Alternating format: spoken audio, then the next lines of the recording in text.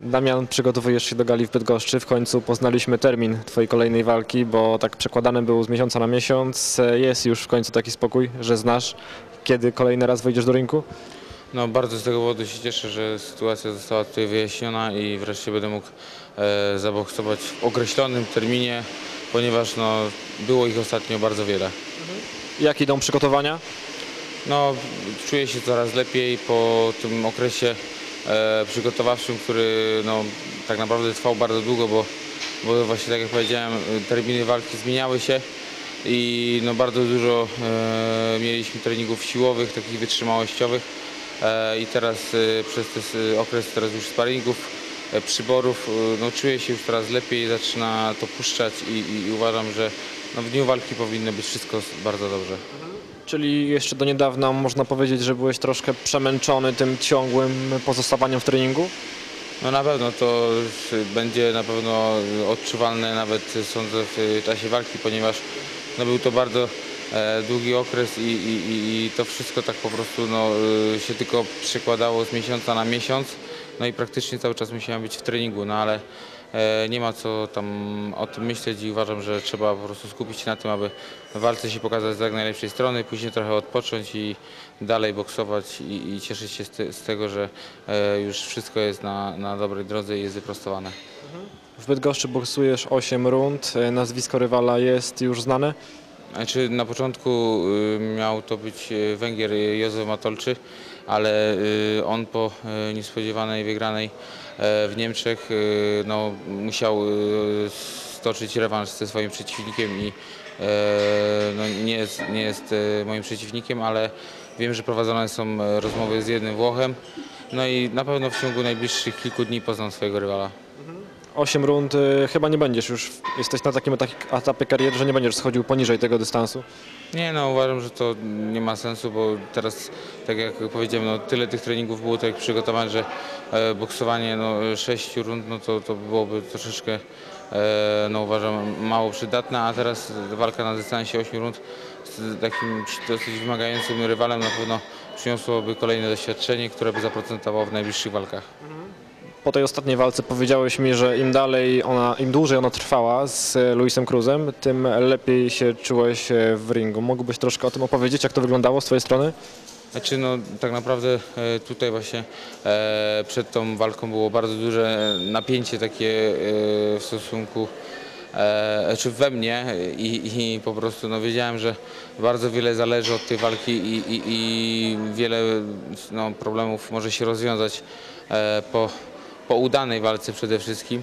No i, i, i tutaj też z drugiej strony każdy bardzo mnie ostrzegał przed e, dużym doświadczeniem tego zawodnika. No widziałem jego e, płyty z e, naprawdę bardzo dobrymi walkami i, i akcje, które wykonywał, no bardzo mi się samemu podobały i sam e, sądziłem, że no naprawdę będzie bardzo ciężko.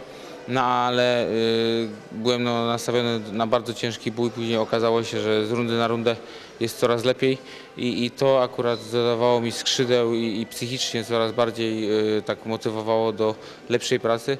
No a tak naprawdę właśnie no, psychika wiadomo w ringu odgrywa, odgrywa najważniejszą rolę, bo można być super przygotowany, jeśli człowiek spali w środku, no to e, nic to nie daje, a uważam, że właśnie to, że e, z rundy na rundę się rozkręcałem i szło mi coraz lepiej. No i przede wszystkim tutaj e, trzeba przyznać to, że e, sztab szkoleniowy e, pan e, trener Fiodor Łapin i pan Marek Okreskowicz e, nastawili mnie taktycznie do tej walki naprawdę super i e, no, to było najważniejsze, czyli ta taktyka, bo, bo gdybym zaboksował w inny sposób, no to różnie mogłoby się to skończyć, a, a najważniejsze, że utrzymaliśmy to do samego końca i, i, i walka mogła się podobać kibicom.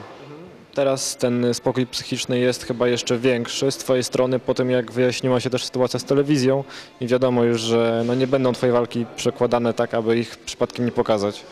No właśnie to też odgrywało bardzo dużą rolę, że no, z, te, z telewizją e, sytuacja z, została wyjaśniona i, i, i mogłem teraz spokojnie się przygotowywać, bo no, wcześniej różnie to bywało, ale najważniejsze, że jest już to za mną i będę mógł spokojnie się skupić na treningu.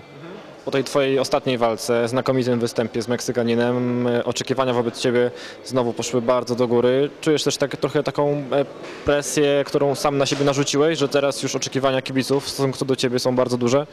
Znaczy ja może nie czuję presji, ale y, czuję bardziej, mi się wydaje, motywację do tego, aby y, pokazywać się z jak najlepszej strony i y, wydaje mi się, że to co e, też trener Fiodor Łapin oglądając nawet moje sparingi za granicą e, sam e, stwierdził, że po prostu ja gdy boksuję z lepszymi zawodnikami e, czy nawet sparuję po prostu e, umie się zmobilizować i wtedy te walki lepiej wyglądają i, i tak naprawdę no, oby e, moi przeciwnicy byli tacy naprawdę solidni i aby to wszystko toczyło się e, w dobrym kierunku. No i ja będę się starał też ze swojej strony, aby pracą na treningu e, wszystko e, przebiegało według planu treningowego.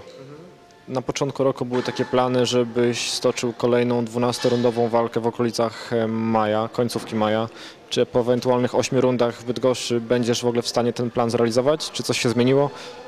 E, Czy tutaj ja, ja nigdy nie wybiegam aż tak daleko, ponieważ e, skupiam się na tej walce i zobaczymy jak się będę po tej walce czuł, jak ona będzie ciężka, jak te przygotowania się zakończą, bo tak naprawdę, no tak jak powiedziałem, no, na pewno będę odczuwał e, tutaj e, to, że e, treningi, które toczyłem wcześniej, no, były tak praktycznie prowadzone non-stop i tylko zmieniały się terminy e, walki, więc no, nie wiadomo jak, jak mój organizm na to odpowie i czy nie będzie to zbyt y, męczące. A to wszystko uważam, że y, trenerzy po walce, gdy siądą i porozmawiają e, razem ze mną między sobą, będzie, będzie wtedy sytuacja jasna.